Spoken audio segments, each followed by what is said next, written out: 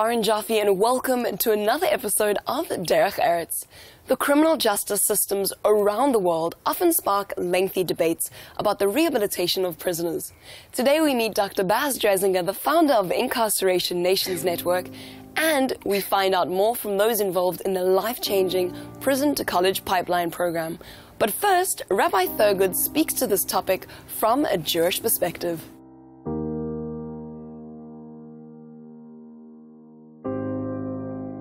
It's a little known fact that although the Torah lays out several elements of a justice system, that is what's called an ideal justice system. When the Torah speaks about the way in which certain people are treated as a result of their crimes, it's less for a practical measure and more for educational reasons. Rabbi Moshe Feinstein, the great halachic authority in America in the late 20th century, for example, said that although the death penalty exists in Judaism, its purpose is not to execute people, its purpose is to teach people how serious the law is and how important it is to do what is right and just in society. So, although the Torah lays out a justice system, it really, as a practical matter, leaves the specifics of a justice system to every society to work out what is best and what is proper.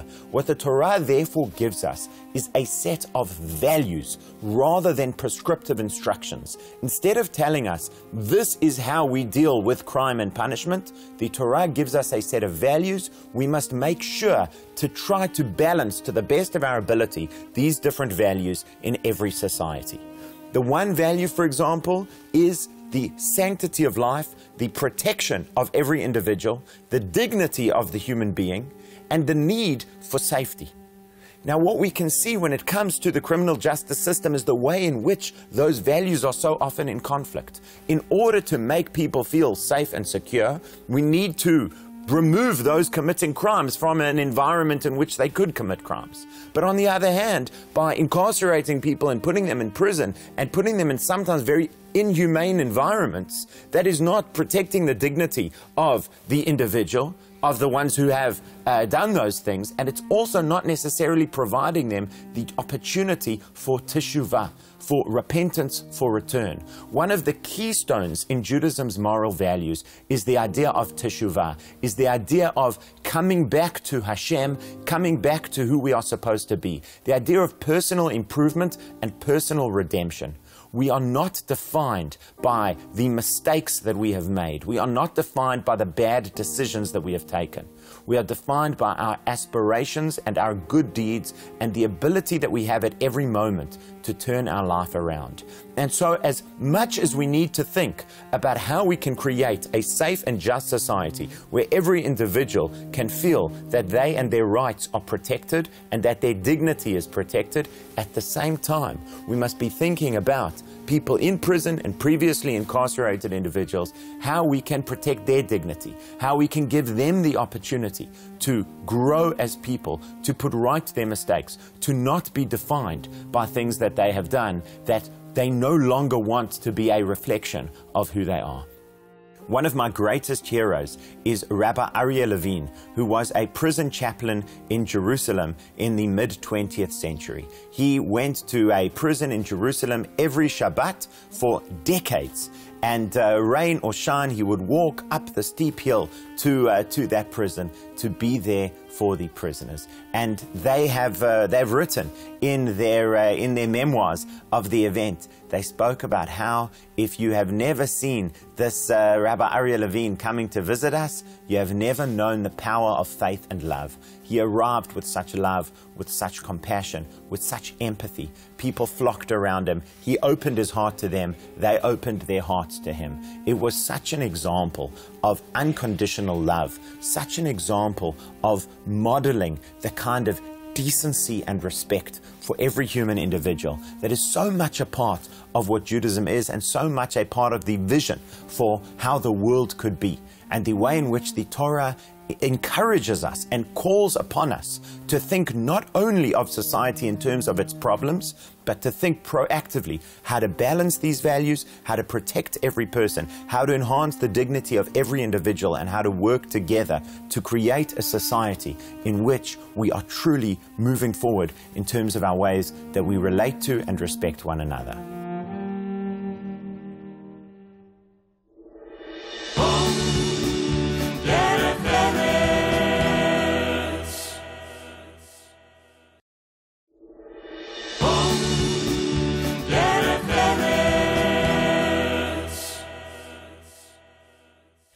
Dr. Baz Dreisinger hails all the way from the city of New York. She cares so much about social injustice that she started something called the Prison to College Pipeline Program. Today we find out a little bit more about her and also what exactly the program is all about. I come uh, from a line of Jewish New Yorkers. Both of my parents are native New Yorkers, children of immigrants from Eastern Europe, Russia, uh, and that part of the world, and definitely was raised in, in a culture of do good behavior of, you know, tikkun olam, of make the world better. And I think everyone in my family, which is a pretty large family, is in the business of service to others one way or another. In 2016, I published a book called Incarceration Nations, and it was a first person journey through prison systems of the world. And uh, that book ultimately ended up becoming a movement. And many of the people and the organizations and the countries that I connected to in order to write that book, I stayed in touch with and that network started growing. And I recognized that there was this global movement to reimagine justice and, and do prison systems differently uh, that wasn't connected. And so my goal became creating a network that would connect the various people around the world doing this work. And so I slowly started visiting, uh, revisiting, and visiting various countries and connecting with organizations on the ground, and ultimately built Incarceration Nations Network, which is a network of 115 partners around the world. Uh, in uh, we have partners on every continent doing a whole host of different kinds of prison reform and justice reimagining work, and especially in their work changing the narrative around crime, around the word, even the word criminal, and getting people to think about what smart justice looks like as opposed to just harsh punitive justice that funnels people away into prison cells. Before I started Incarceration Nations Network, I was, while teaching at John Jay College of Criminal Justice in New York, uh, I launched a program there called the Prison to College Pipeline. And it's a university program inside prison that also guarantees people a place in university when they come home from prison.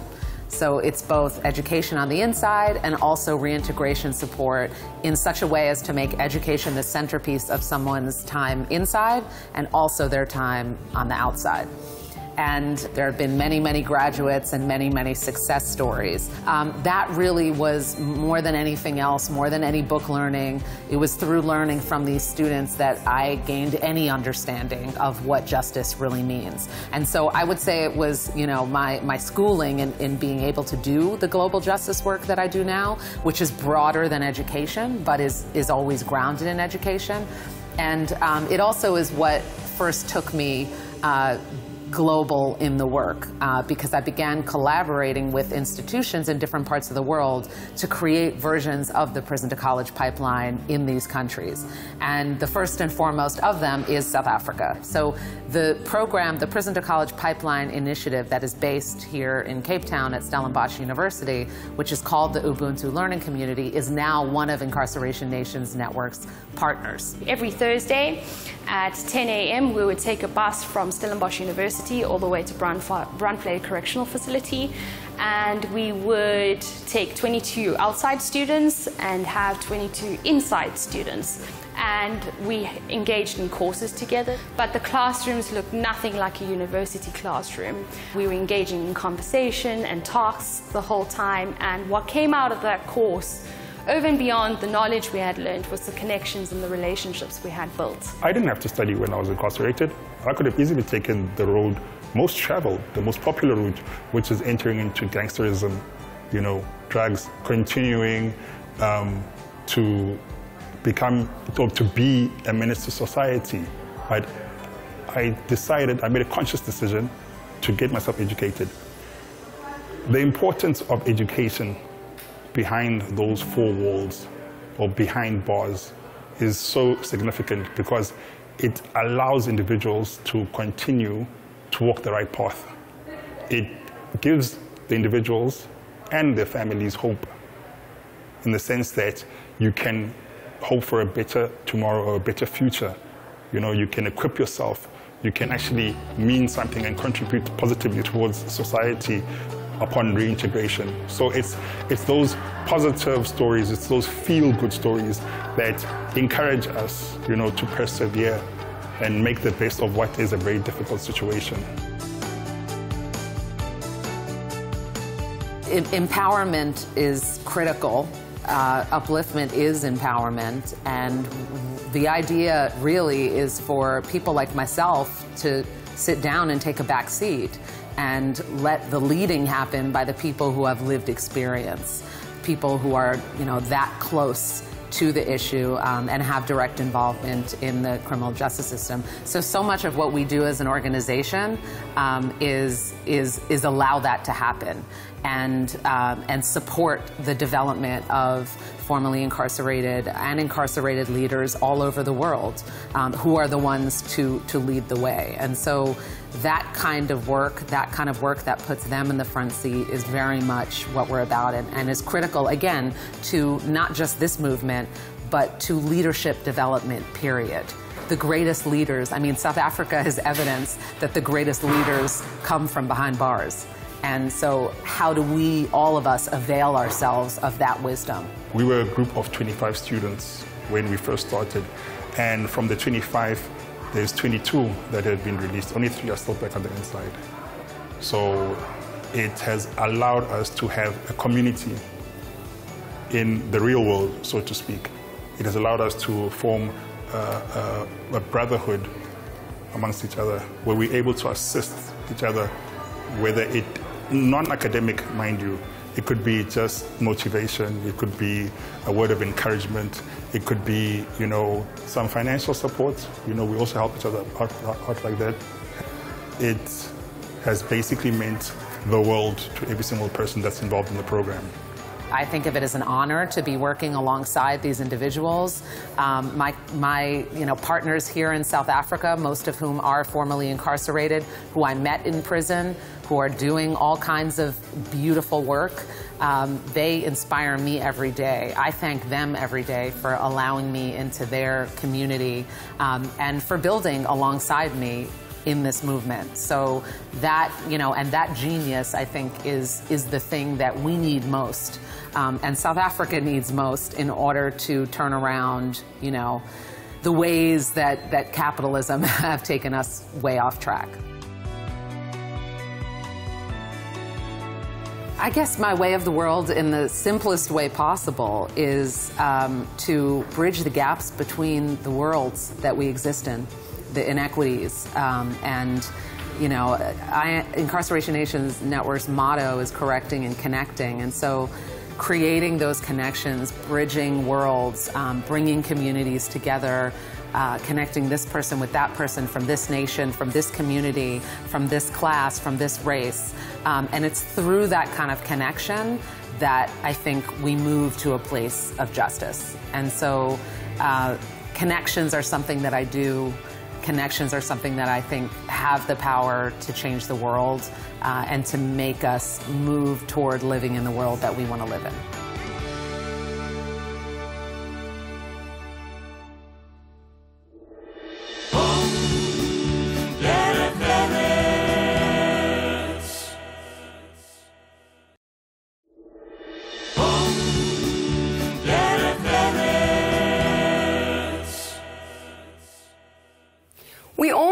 That social justice isn't just simply achieved by sitting back and having easy conversations.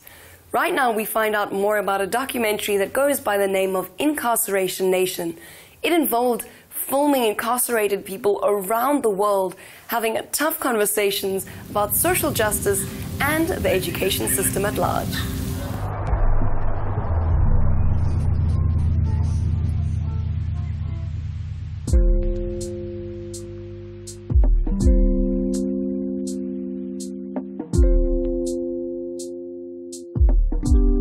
Well, I've been in prison since I was 16. I'm 34 now. Providing prisoners with college opportunities is not a popular idea. Why don't we teach college in prison? New York Governor Andrew Cuomo introduced a plan to publicly fund college programs in 10 state prisons. It faced opposition from both parties and was quickly shot down. There's a lot of conversation about prison reform in the U.S. because we are home to the world's greatest, uh, highest number of people in prison.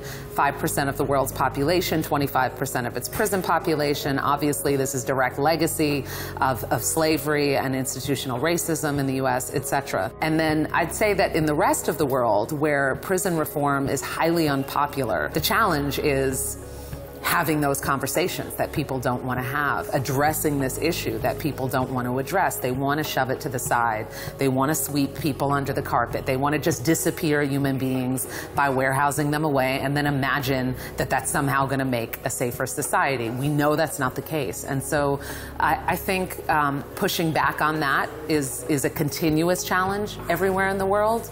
And I think specifically in countries with high crime, uh, like South Africa, where there is a lot of legitimate fear and anger, then the idea of, you know, quote unquote prison reform becomes especially um, difficult for people to grasp. And so there's a lot of pushback.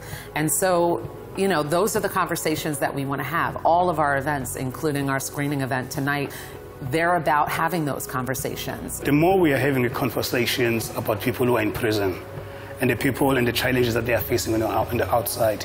It helps people to ask uh, critical questions. Critical questions in a sense that, okay, these guys, they're in prison. And then when they finish their time in prison, where they are going to go? How are they going to survive? And if ever we're not able to solve those questions and help the, our clients who are in prison to reintegrate outside the society, that means that we'll be creating a problem. But when we are able to answer those questions very seriously, we know that if those questions are being solved, we are going to end the recidivism rate that is so high in South Africa. There, there's an episode about women, there's an episode about restorative justice, there's an episode uh, about education. You're going to see two of them tonight, and, and the first of them being especially significant for this moment um, because it is to some extent the world, well, it's the world premiere outside of prison. Research indicates that prisoners who participate in correctional post-secondary education are 51% less likely to be reincarcerated. It's too soon to know if this program will be successful because only 36 men have participated. Seven of these 12 students have been released, and six are already enrolled in college or are applying for admission. Only one is back in prison.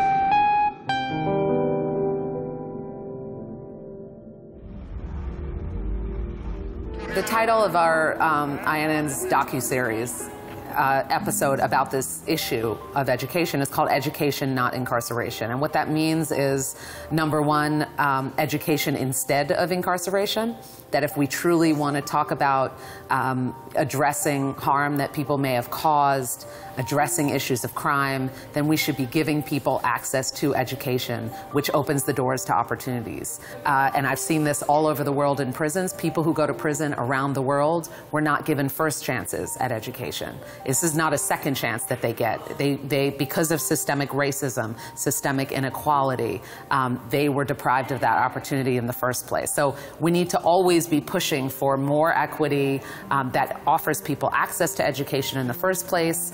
And then we also need to offer access to education for people who are currently incarcerated as a lifeline as a way of redressing the harm that we as a society caused them by not giving them access to education in the first place.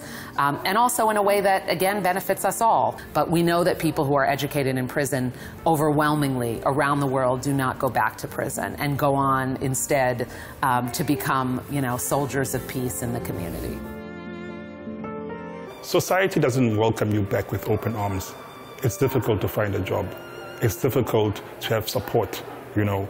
It's, and unfortunately with the Department of Corrections or with South Africa as a whole, is the whole catch and release scenario. The department spends so much money, they put so much effort, so much resources are put into the correctional process. Yet when you're released, you're on your own. So it's very difficult, but my advice or my encouragement to anybody that's back home is don't lose hope. They say it's always darkest before the light. So if you continue to persevere, you continue to you know, educate yourself, you continue to wake up every single morning and try to find a job, you, you just keep persevering, you will get there eventually. So my, my main advice would be don't lose hope. When I was watching the, the, the docu-series and um, I'm thinking of the struggles that we were going through at the time we were shooting the, the, the, the series when, when Dr. Baz came to visit. And now, where I am now, uh, yeah, it's amazing. It's an, it's, it's an amazing journey. But um, what I can say is that uh, out of all those struggles that we have gone through, the end product that came out of those struggles is what you see today in front of you. Is a responsible citizen, is a person that's got vision for his community, is a person that wants to make a change where he is currently. You know the struggles that I'm going through currently, but those struggles are just minor to what I have gone through. One of the highlights occurred just the other day when uh, my collaborators on the ground here, who was incarcerated in that facility at Drakenstein Correctional Facility, was featured in our docu-series called Education, Not Incarceration. We have a docu-series with 10 episodes, and that's one of them. Um, and he's in prison, and we screened that very clip showing him in prison, and here he is today. He came as a speaker at this very esteemed event uh, and is shortly to receive his law degree from UNISA and ultimately, again, go on to impact the world. That moment, seeing him speak on stage at this event at the same prison where he was incarcerated. And to be able to say that not only is you know is he achieving great things but he's achieving great things for the world for South Africa um, in ways that again come back to benefit us all. That's really what this work is all about. It's saying how do we invest in, in people um, because that's what truly benefits us all as opposed to throwing people away which doesn't benefit us